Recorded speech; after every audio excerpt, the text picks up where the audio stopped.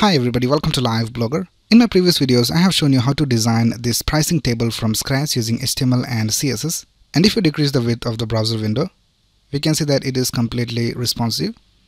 So if you want to learn how to design this from scratch, you can watch my previous videos. I will leave the link in the description of this video. And I will also leave the link of the source code. Now in this video, I'll show you how to add this pricing table to your Blogger website. So let's get started.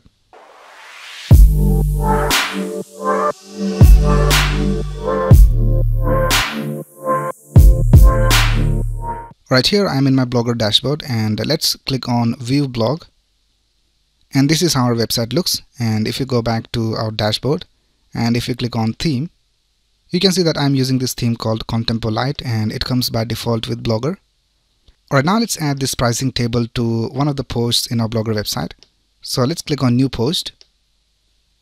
And for the title I'll just type pricing of our product. And now you can go ahead and add your own content over here. You can go ahead and add images or whatever you want over here. And then whenever you need to add this pricing table you have to go over here to this button and click on HTML view. And uh, here you can add your HTML, CSS and JavaScript. So let's go to the source code of our design.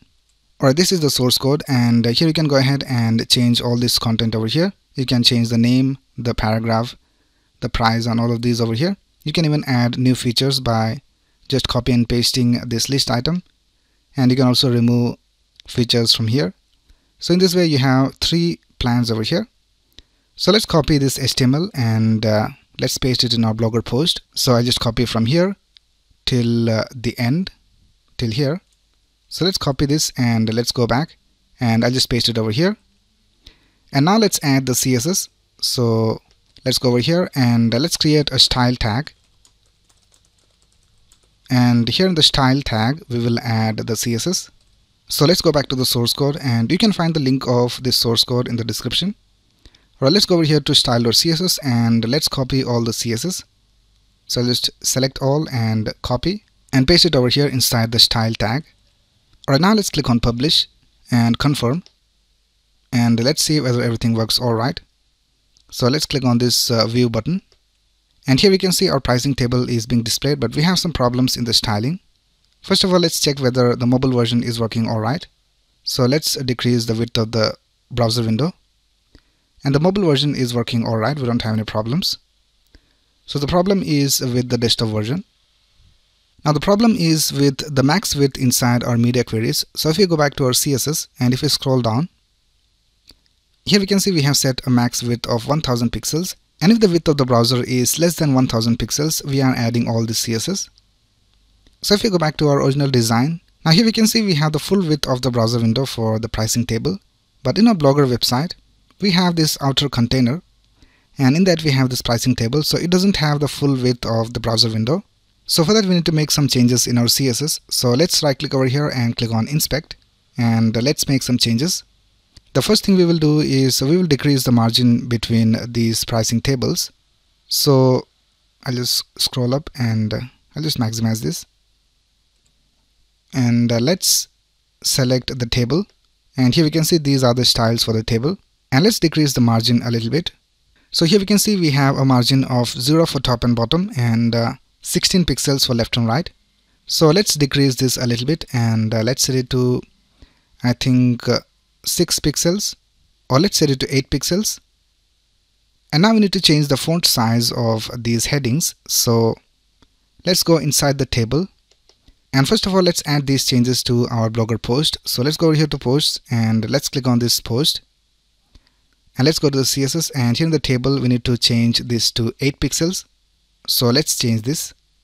And let's go back and uh, the next thing we need to do is change the font size of this heading so let's select the heading and uh, let's decrease the font size a little bit. So I think 26 pixels looks alright. So let's go back to the post and uh, let's go to the heading. And here instead of 32 we will set it to 26 pixels. And let's go back to our post and uh, we also have to change the font size of this price. So let's select the price. And uh, let's change the font size a little bit and I think 56 pixels looks alright and we'll also remove this padding top 0 from here so that we have the padding at the top. Alright, so let's make these changes to our price. So we have the font size set to 56 pixels and the padding to 32. So let's go back. And uh, here in the price let's change this to 56 pixels. And we'll just remove this padding top 0 from here. And let's go back and the next thing we will do is uh, we will decrease the font size of these features. So let's go into features and let's go to the list item. And here we have set the font size to 18 pixels. Let's decrease it. And I think 16 pixels looks alright so let's change the font size of this list item to 16 pixels. Let's go back and let's find the li and here we'll just change this to 16 pixels and now this looks alright so let's go back and let's click on update. And let's go back to our post and let's refresh this page. And now we can see we don't have any problems. It looks alright let's view the mobile version. And here we can see that the mobile version also looks alright so that's basically how you add a responsive pricing table to your Blogger website. Now whenever you add custom code to your Blogger website, you have to make changes depending on the theme that you're using.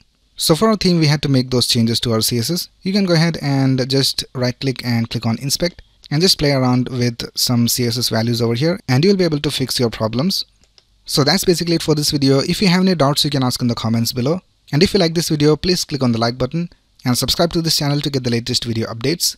Thanks a lot for watching. Have a nice day.